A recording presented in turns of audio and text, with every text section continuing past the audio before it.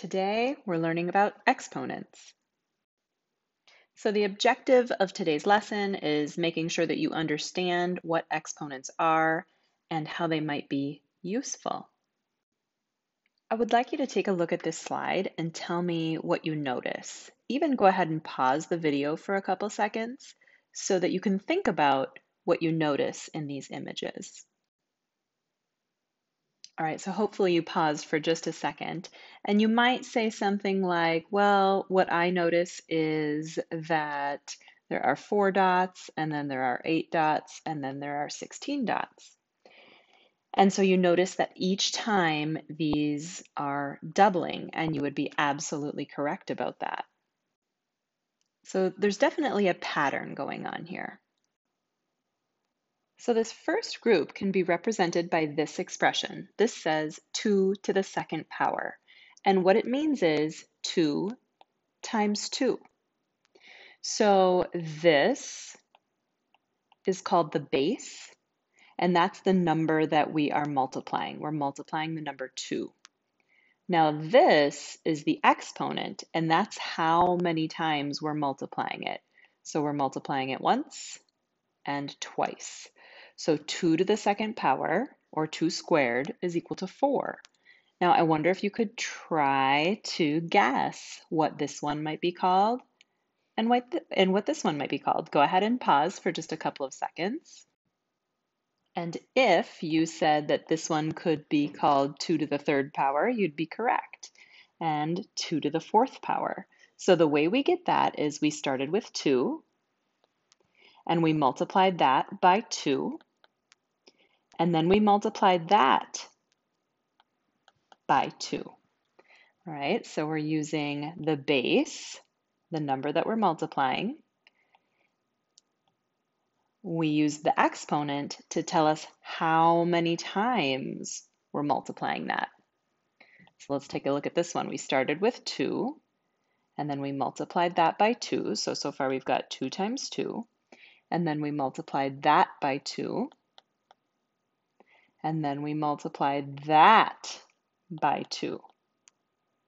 So now we've got our base, that's the number that we're multiplying, and we've got our exponent, that's how many times we're multiplying that number together. So I will ask you to write this down a little bit later, but just so that you remember, the base is the number, and then that little number that is kind of higher than the rest, that is called the exponent. The base is the number that we're multiplying, and the exponent tells us how many times we're using that number as a base. So we've got 10 two times. 10 times 10 is equal to 100. So 10 squared, or 10 to the second power, is 100. So when you look at a problem like 9 times 9, you might say, oh, well, that's easy. That's 81. And you wouldn't be wrong but 9 times 9 is also the same as 9 to the second power, or 9 squared. 9 times 9 is equal to 9 multiplied together two times. 9 squared is the same as 81. 8 times 8 times 8 is the same as 8 to the 1 to third power. 8 times 8 is 64. Then I have to take 64 and multiply that times 8. That'll take me just a minute. Hang on. So 8 to the third power, 8 times 8 times 8 is equal to 512. I did my work up here. I bet you can do this one. 2 times 2 times 2 times 2 is equal to 2 to the fourth power. Now, I want you to be really, really careful because a lot of kids make this mistake. They say, oh, well, that's easy. That's 8. 2 times 4 is 8. 4 twos is 8. But remember, 2 plus 2 plus 2 plus 2 equals 8. When we put this multiplication sign in, that changes everything. So 2 times 2 times 2 times 2 is equal to 2 to the fourth power. 2 times 2 is equal to 4. And I could multiply 4 times 2 and get 8, and 8 times 2 and get 16. I can also go like this. I'm going to do take care of these two 2's. That's 4. 2 times 2 is 4. And then I'm going to multiply these together. 4 times 4 equals 16. So 2 to the fourth power is equal to 16.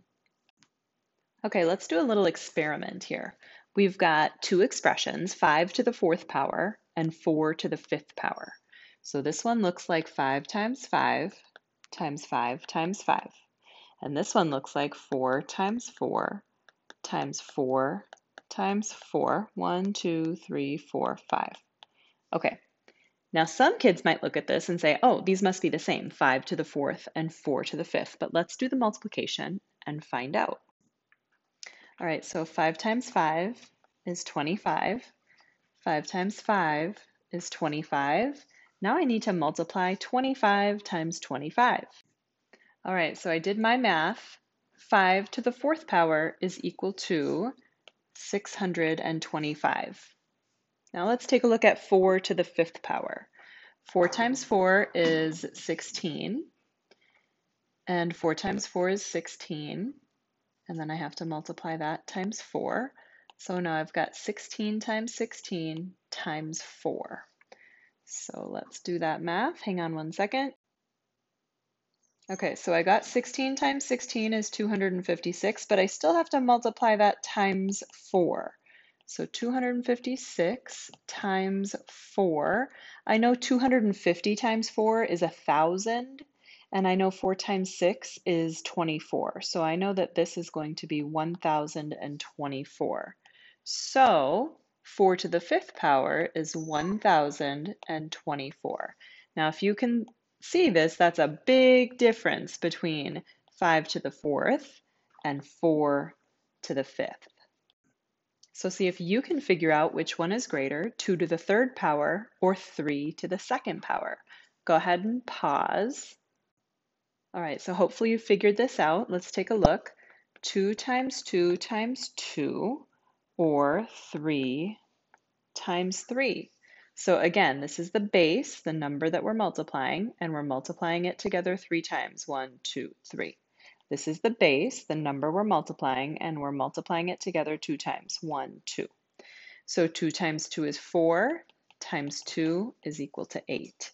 And 3 times 3 is equal to 9. So 2, the, 2 to the third power is 8, and 3 to the second power is 9. So the, to answer our question, this one is greater.